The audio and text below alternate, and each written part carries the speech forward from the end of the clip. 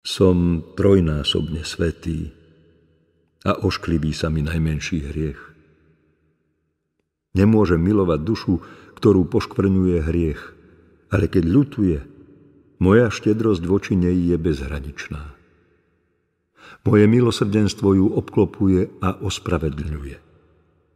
Svojím milosrdenstvom prenasledujem hriešnikov na všetkých ich cestách a moje srdce sa raduje, keď sa vracajú ku mne. Zabúdam na horkosť, ktorou napájali moje srdce a teším sa z ich návratu. Povedz hriešnikom, že nikto neújde pred mojou pravicou. Ak utekajú pred mojim milosrdným srdcom, padnú do mojich spravodlivých rúk. Povedz hriešnikom, že vždy na nich čakám, načúvam úderom ich srdca, kedy začne byť pre mňa.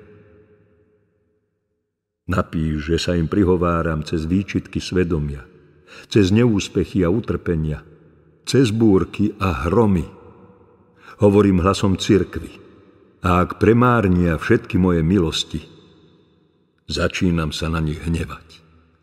Ponechávam ich samých na seba a dávam im to, po čom túžia.